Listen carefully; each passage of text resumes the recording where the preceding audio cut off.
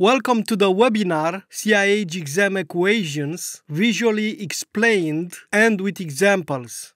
My name is Dr. Daniel Farcas and I am a certified industrial hygienist, certified safety professional, and certified hazardous material manager.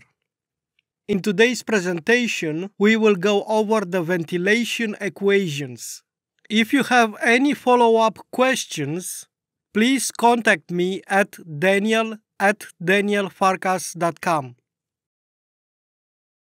The ventilation section from the Certified Industrial Hygienist Candidate book has 29 equations referenced as useful equations for the ABIH examinations.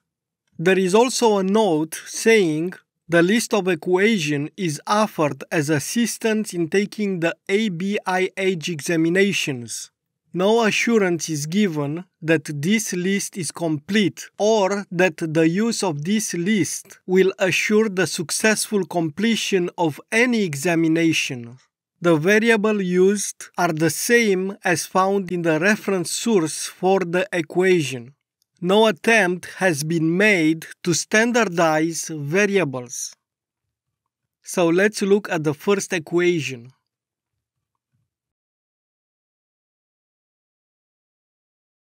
The first equation is the volumetric flow rate in a duct.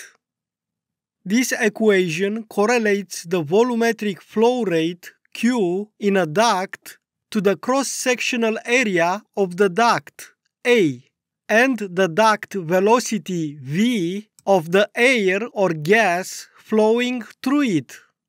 The equation is Q equals V times A where Q is volumetric flow rate in cubic feet per minute or cubic meters per second.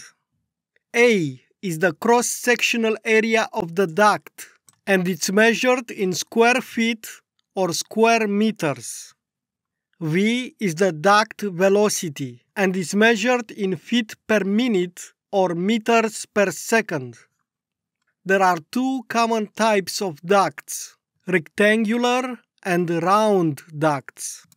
But it's also important to visualize these processes in our minds. The volumetric flow rate in a duct can be visualized as the total volume of air or gas moving through an area per unit of time, which can be minute or second, as you can see in the animation. Round ducts are usually more efficient than the rectangular ducts because they are less airflow resistant. For example, what is the flow of a 8 inch diameter duct with 100 feet per minute duct velocity? The first step is to identify the variables. We have 100 feet per minute, which is velocity, and an 8 inch diameter value that we can use to calculate the duct area. Since 1 foot equals 12 inches, 8 inches divided by 12 equals 0.666 and so on feet which will round up to 0.667 feet. But we know that the cross-sectional area of the duct or circle area equals P times radius square or P times diameter square divided by 4. That's because the diameter is twice the radius. And now using the flow formula, we can calculate the flow rate from velocity and area. So the duct area equals 3.14, which is P, times 0.667 feet squared, because it's the diameter squared, divided by 4. And the result is 0.349 square feet in the end, the flow is 100 feet per minute times 0.349 square feet, which results in 34.9 cubic feet per minute. So we have to learn to do the calculation really fast on our calculator. And for this example, the diameter is 8 divided by 12, which equals 0.667 feet. We square the answer and divide by 4 and then multiply with 3.14, which is P, to find out the duct area. And then multiply with 100 feet per minute to find out the flow value, which is approximately 34.9 cubic feet per minute.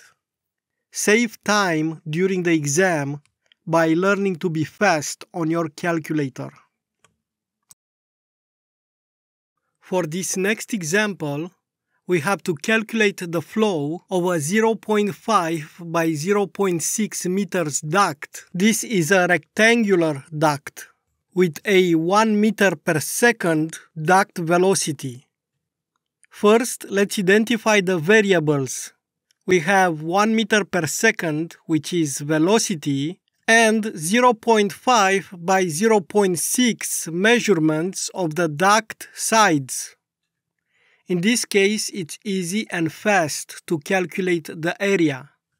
The area is 0.5 times 0.6, which equals 0.3 squared meters. And then we just multiply the result with 1 meter per second to find the flow value, which is 0.3 cubic meters per second.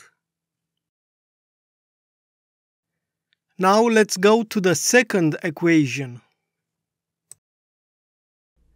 This equation is known as the constant volumetric flow or conservation of mass or the continuity equation. This equation assumes no friction losses and states that the gas mass flow rate at one point in the stream equals the mass flow rate at another location of the duct. Or translated, the flow increases when transitioning from the large area duct into the small area duct or the velocity is inverse proportional to the duct area. As you can see from the animation, in the large area duct, the gas or air moves slower than in the small area duct. The same mass of gas or air is transported through the small area duct, but at greater speed. So the equation is velocity times area in one section of the duct equals velocity times area in another section of the duct, where A is cross-sectional area for ducts or into hood openings and is measured in square feet or square meters. And v its duct velocity in feet per minute or meters per second. In this example, the duct area of an 8-inch diameter duct with 100 feet per minute duct velocity is reduced to a 4-inch diameter duct what is the new velocity? Let's calculate the initial diameter in feet. 8 divided by 12 inches, because there are 12 inches in a feet, equals 0.667 feet. Now that we have the initial diameter, let's calculate the reduced diameter where we have 4 inch divided by 12 inch equals 0.333 feet. Now the initial area it's 3.14 or P times 0.667 feet squared divided by 4 because we applied the formula of the circle area. The reduced area is 3.14 times 0.333 feet squared and divided by 4. Notice that the initial area, which is 0.349 square feet, is 4 times bigger than the reduced area, which is 0.087 square feet. So now by replacing the values in this constant volumetric flow formula, we have 100 feet per minute times 0.394 square feet equals the reduced velocity value times 0.087 square feet. Based on the calculation, the velocity for the reduced area is 400 feet per minute, which is 4 times the initial velocity of 100 feet per minute. The main idea is to remember is that reducing the diameter to half of the initial value, the velocity is increased 4 times. Visualizing and understanding these equations will help you speed through the mathematical part of the CIH exam. So now let's learn about the third equation. There are three pressures working inside any duct.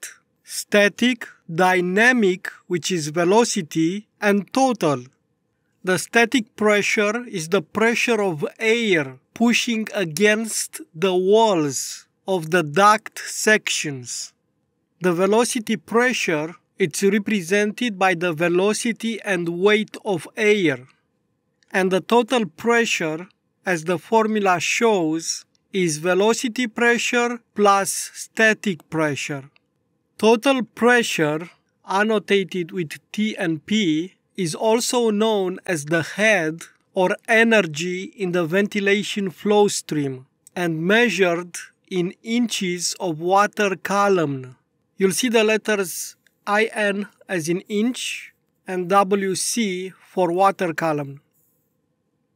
VP is the velocity pressure within a duct, not to be confused with velocity, which is V, and is measured in inches of water column and not in feet per minute as we have for velocity.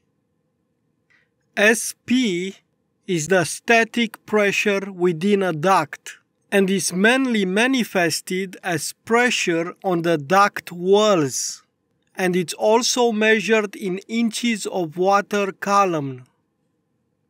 This equation is known as conservation of energy, assuming no friction losses. It states that total pressure, which represents total energy, is the sum of velocity pressure, which is movement pressure, and always positive, and static pressure, which represents the pressure of air exerted in all directions. Again, static pressure or SP is pushing inside the duct walls, while velocity pressure or VP is moving the air in the direction of the flow because of the pressure differentials. Air moves from high pressure to low pressure. Velocity pressure is parallel to the direction of flow and can only be measured as the differential between total pressure and static pressure. Static pressure is expressed equally in all directions and is measured perpendicular to the direction of flow. Static pressure is the pressure a fluid would exert on its surroundings if it was not moving. Dynamic pressure, also known as velocity pressure, is the pressure caused by the velocity or movement of the fluid. For example, what is the total pressure in a duct pre-fan if static pressure is minus 2.25 inch water column and velocity pressure is 1.5 inch water column. Remember that the velocity pressure is only exerted in the direction of airflow and is always positive. Pre-fan, the total pressure is always negative. That means that the air flows into the duct system. So, for our example, we have total pressure which equals velocity pressure plus static pressure, which equals 1.5 inches of water column plus minus 2.25 inches water column, which results in minus 0.75 inches of water column. So now let's look at the fourth equation. This equation is the mathematical model for pressure losses that are caused by internal friction of the fluid itself due to its viscosity and the frictions between the fluid and the wall. When fluids flow through pipes, energy losses inevitably occur. On one hand, due to friction that occurs between the pipe wall and the fluid, on the other hand, internal friction occurs within the fluid due to viscosity. Flow losses can be also caused by turbulence in the fluid, especially at fittings area, which creates obstacles for the flow. Although these turbulences contain kinetic energy, they do not transport them through the pipeline from a macroscopic point of view, but remain in place in the pipe. As you can see in the animation, the energy loss in the duct from point 1 to point 2 are due to frictions that are directly proportional to the pressure inside the duct.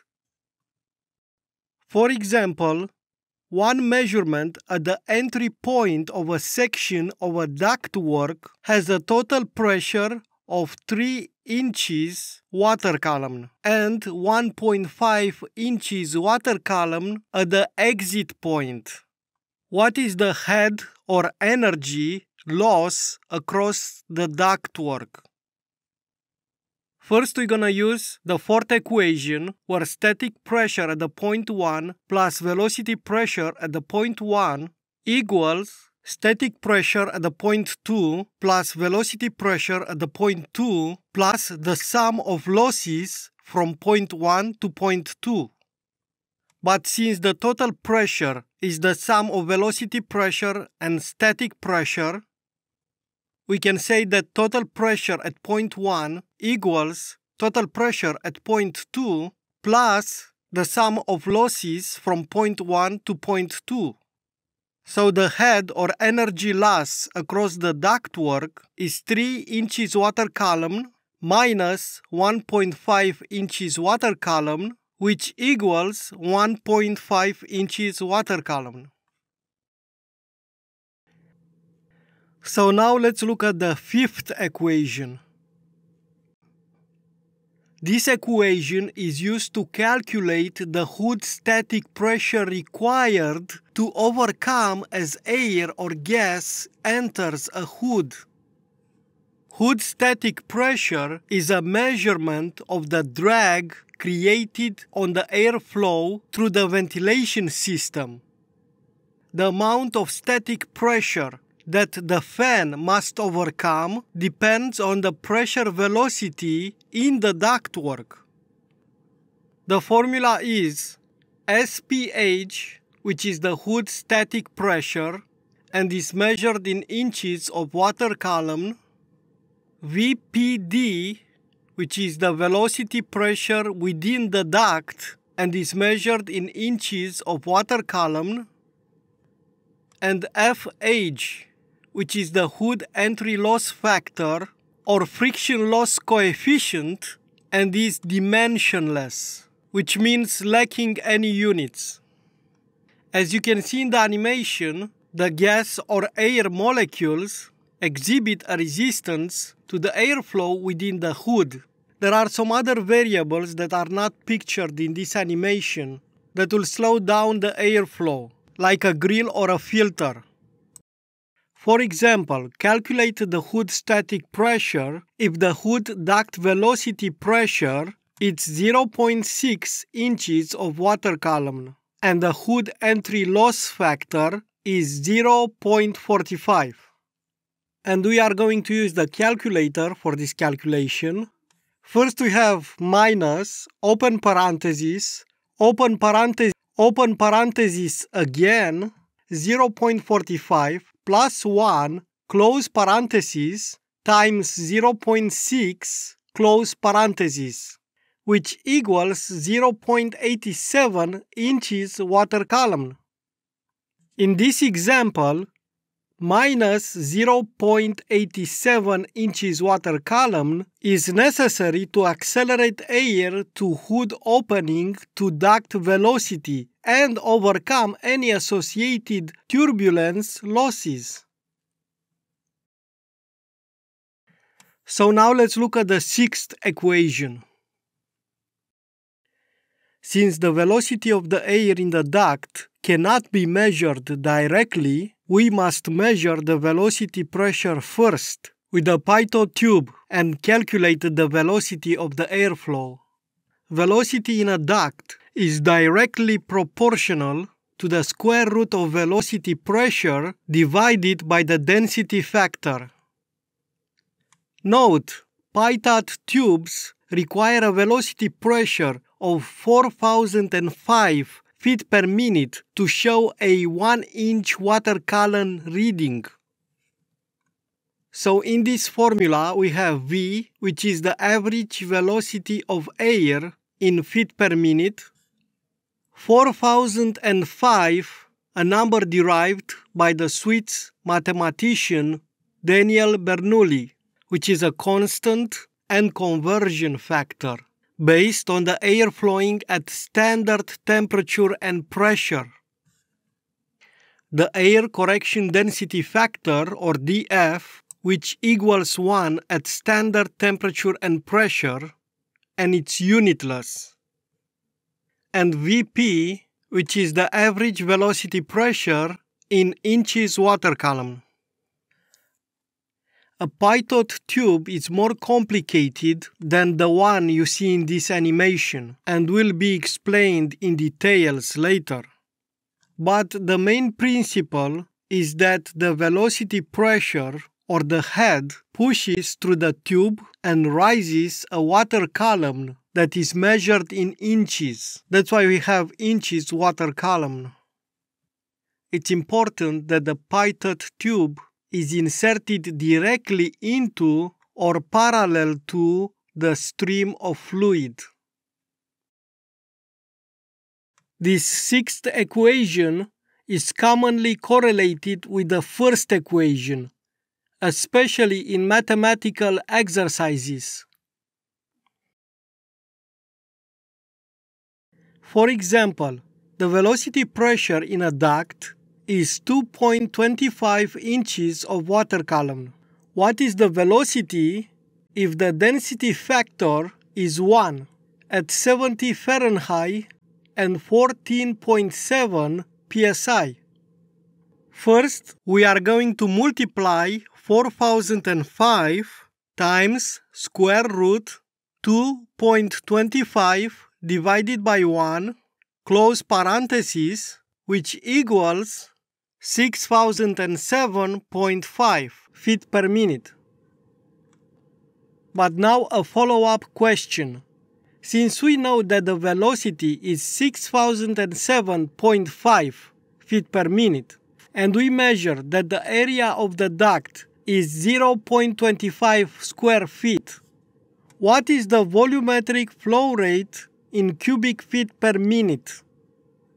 Since we know that the flow equals velocity times area, all we have to do is multiply 6007.5 times 0.25, which results in 1502 square feet per minute. The formula above is not listed under the useful equation for the ABIH examination but it may be necessary to solve problems. The formula contains dF as the air correction density factor which equals 1 at standard temperature and pressure, and it's unitless. R degrees for Rankine degrees, which is Fahrenheit plus 460, K degrees, which is Kelvin degrees, that equals Celsius degrees plus 273.15 and F degrees, which is Fahrenheit degrees, which equals 9 fifths of the Celsius temperature plus 32. Remember, the standard temperature and pressure are 1001 325 pascals or 14.7 pounds per square inch or psi and 530 Rankine degrees or 294 Kelvin degrees.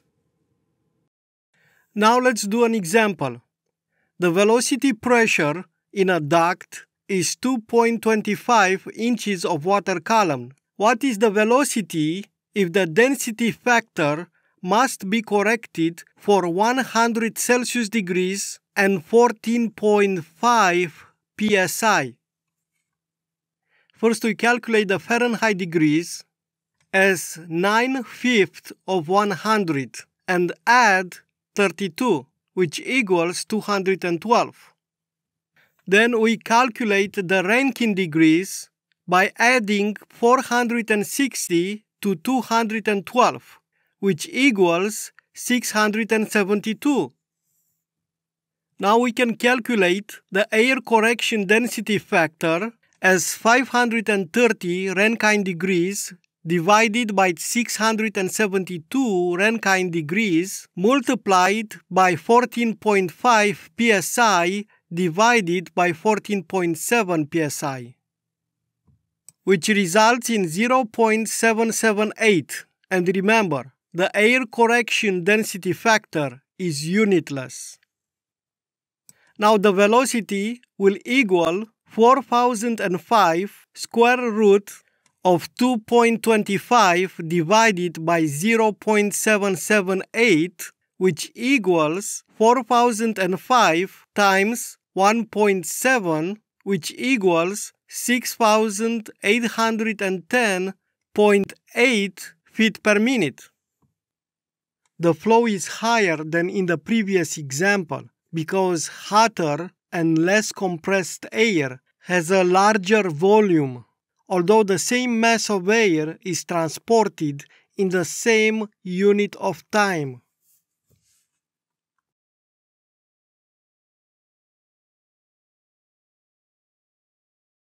So now let's talk about the seventh equation, which is the metric version of the sixth equation. And we know that because it's between brackets. All the equations showed here in red bracket brackets are the metric version of the equation in front of them.